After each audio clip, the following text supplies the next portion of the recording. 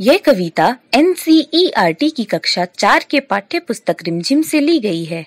इसका एनिमेटेड रूपांतरण सार्ड द्वारा प्रस्तुत है। इस कविता का नाम है, नाव बनाओ नाव बनाओ। इस कविता में बच्ची अपने भाई को बुलाती है और कहती है कि उसकी नाव बनाओ, क्योंकि बारिश होने वाली है। तो आइए देखते हैं कि उसकी नाव कैसे बनी।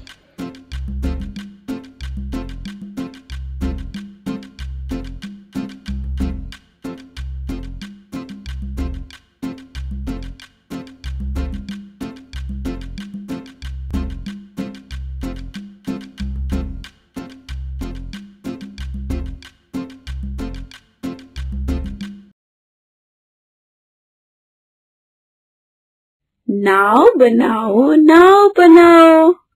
नाव बनाओ नाव बनाओ। भैया मेरे जल्दी आओ। वह देखो पानी आया है।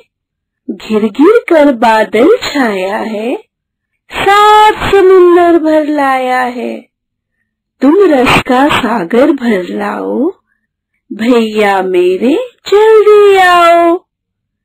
पानी सचमुच खूब पड़ेगा, लंबी चौड़ी गली भरेगा, लाकर घर में नदी धरेगा ऐसे में तुम भी लहराओ, भैया मेरे जल्दी आओ।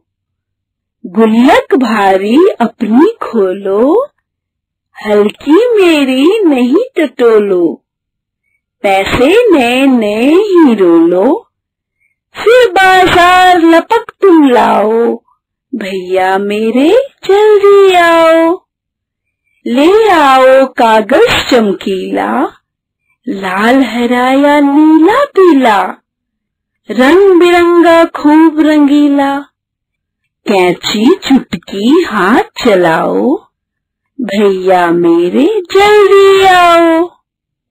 छप छप कर कूड़े से अड़ती बूंदों लहरों लड़ती बढ़ती, सबकी आँखों चढ़ती घड़ती नाव तैरा मुझको हर्षाओ, भैया मेरे जल्दी आओ।